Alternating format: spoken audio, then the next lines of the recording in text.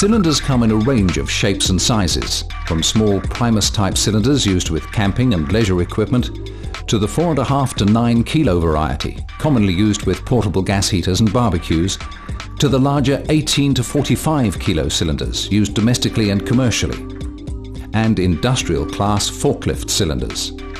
Most of the cylinders you will handle will comprise the cylinder body, often made of several sections welded together, the foot ring, which keeps the cylinder in a stable upright position, the cylinder valve, which allows the LPG in and out of the cylinder, and the valve protection ring, which prevents knocks and damage to the valve assembly. There are important markings to be found on the cylinder.